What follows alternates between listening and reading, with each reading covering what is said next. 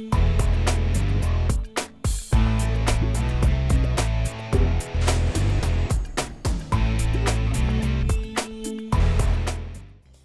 and welcome to this edition of Entertainment News on Channels TV. I am Mayowa Ogundele and it feels good to be back on your TV screen. Promise to make this time out worth your while.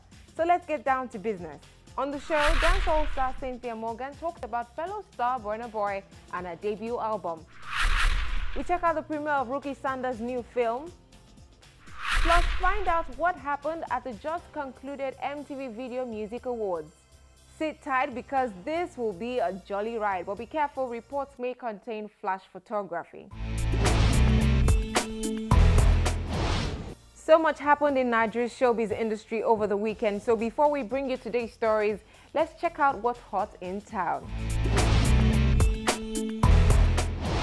Actress Bimbo Akintola is set to play Nigeria's Ebola heroine, late Dr. Stella Adadevoh, in a movie by Steve Gukas. The film titled 93 Days tells the story of a brave doctor who laid down a life to save a nation in the face of daunting epidemic. 93 Days, which also stars actors Gideon Okeke and Somkele Idalama, will be released in 2016. And Bollywood actress Vani Vyas is set to make a Nollywood debut in a new film, Love in the Air. The MME song-produced flick will also star Tony Aimaku, Utinwachuku Okey Bakassi, Funny Bone, Funky Mallam, and Ime Bishop. On the music scene, EME First Lady Niyola's latest single is titled Go On. The R&B pop mix produced by Shizzy already has a yet-to-be-released video, which was directed by label boss Banky W.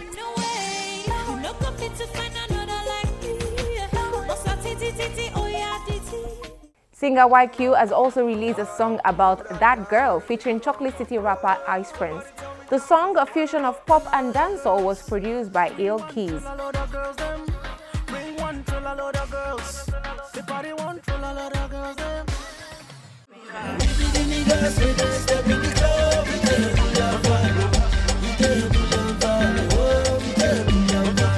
Chocolate City's Mr. Incredible has finally unveiled the music video for the song Bullion Van.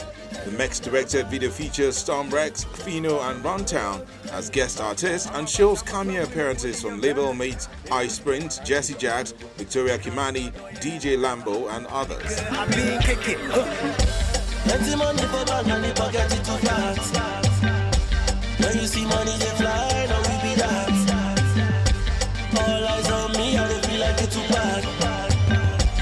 Anytime I come the people like who be that. Singer Samklef has released a video for his self-produced song titled E. The video, which shows the producer in a reflective state, also shows him at various stage performances.